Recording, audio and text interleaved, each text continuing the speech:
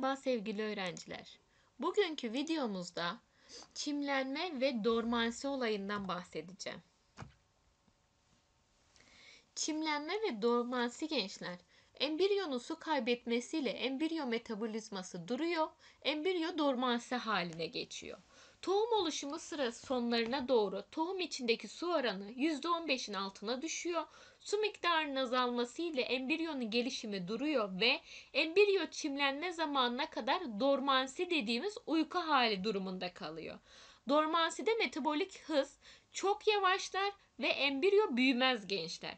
Bazı türlerde parçalanmamış tohum kabuğu, kabuğu da dormansiye neden olabiliyor.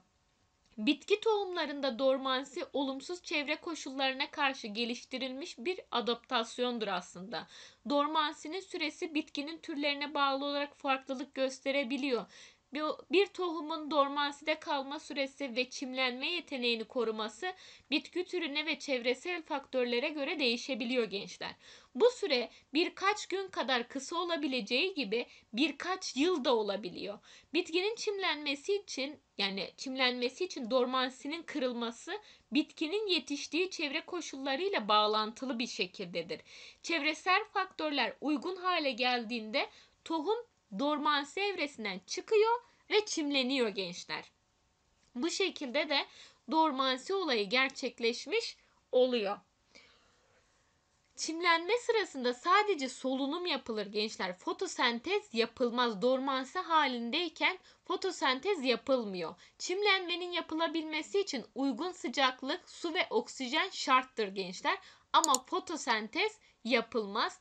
İlk yapraklar oluşuncaya kadar embriyo için gerekli besin endospermden salgılandığından tohumun kuru ağırlığında azalma olur gençler. İlk yapraklar çıkınca çimlenme sonlanır ve bitki fotosentez yaparak beslenmeye başlar. Tohum hücreleri tohum kabuğu çatlayana kadar etil alkol fermentasyonu daha sonra ise oksijenli solunum yaparlar. Çimlenme ise gençler çimlenme basamaklarından şu şekilde bahsedeceğiz. Olgunlaşmış bir tohumdaki embriyonun uygun koşullarda yeni bitki oluşturmak üzere tohum kabuğunu çatlatarak dışarı çıkıp gelişmesine çimlenme denir. Çimlenme gerçekleşebilmesi için ortamda yeterli miktarda su ve oksijen bulunması zorunludur dedik. Ve sıcaklığın uygun olması gerekir. Uygun koşullarda osmozla su alan tohumun hacmi artar ve tohum kabuğu çatlar gençler. Tohum su emerek şişer ve tohum kabuğu çatlar. Embriyo hücrelerinin enzimi aktif hale geçer ve giberellin hormonu sentezlenir. Bu hormon absisik asitin etkisini ortadan kaldırır. Çünkü absisik asit, absisik asit büyümeyi engelliyordu ve amilaz enzimi faaliyete geçiyor. Endospermde depolanan besinler kullanılarak solunum yapılmaya başlıyor ve ATP üretiliyor gençler. Tohum kabuğundan önce embriyonik kökten gelişen ilk kök çıkıyor, yer çekimine doğru büyüyor. Bu kısım zamanla gerçek kökü oluşturuyor gençler. Toprak üstünde doğru ise embriyonik gövdeden gelişen gövde çıkıyor. İlk yapraklar çıkınca fotosentez işlemi de gerçekleşmiş oluyor. Ve bitki fotosentez yapmaya başlamış oluyor. Bitki de çimlenme tamamlanmış oluyor gençler. Çift çenekli bitkilerde bezelye hariç çenekler çimlenirken toprak üstünde kalıyor. Tek çenekli bitkilerde ise çenekler çimlenirken toprak altında kalıyor gençler. İşte bu şekilde gösterebiliriz. Çift çenekli fasulye, iki çenekli bezelye ve tek çenekli mısır gençler. Gördüğünüz üzere iki çeneklilerde mesela fasulyede toprak üzerine çıkarken tohum e, tek çeneklilerde toprak altında kalıyor gençler. Bezelye de iki çeneklidir ama bezelye hariç demiştik zaten.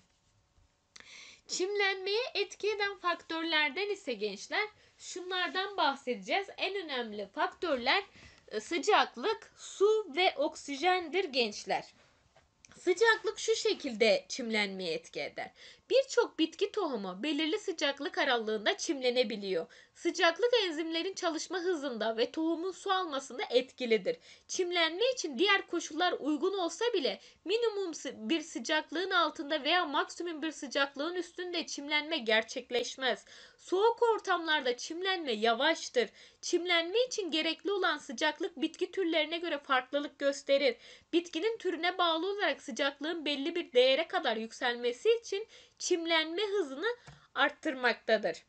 Su ise gençler tohumun çimlenebilmesi için ortamda yeterli miktarda su olması gerekir. Çünkü su olmazsa tohum hala kurudur. Kuru bir tohum mesela fasulye, nohut bunlar evdeyken mesela susuz ortamda ne yapıyorlar? Biz bunları kuru olarak, yemek olarak kullanıyoruz. Çünkü hala suyun içerisine girmemişlerdir gençler. Fakat suyun içerisine birkaç gün bekletirsek bunlar filizlenmeye başlar. Tohuma alınan su metabolik faaliyetleri hızlandırır. Enzim faaliyetlerini başlatır. Biliyorsunuz enzimlerin çalışması için suyun %15'in üzerinde olması gerekiyor. E o zaman su e, bu besinler suyla karşılaşınca enzimler çalışmaya başlar. Yeterli suyun olduğu ortamlarda tohum çimlenirken gelişir. Tohumun çimlenmesi için gerekli olan su çimlenme sonrası bitkinin büyümesi için de gereklidir. Geldik oksijene gençler. Oksijen de çimlenme sırasında metabolik faaliyetlerin gerçekleşmesi için enerji gereklidir. Embriyonun geliş- gelişimi için ihtiyaç duyulan enerji çeneklerdeki besinlerin oksijenli solunumla parçalanması ile sağlanır. Yeterli oksijenin olmadığı ortamlarda çimlenme süresi uzar veya çimlenme gerçekleşmeyebilir. Tohumun çimlenmesi sırasında ortamdaki su miktarı çok olursa tohum yeterli oksijen alamaz ve çimlenme durur gençler. Bu şekilde e, gençler e, çimlenmeyi etki eden faktörleri de bitirmiş olduk. Bir sonraki videomda görüşmek üzere. Sağlıcakla kalın.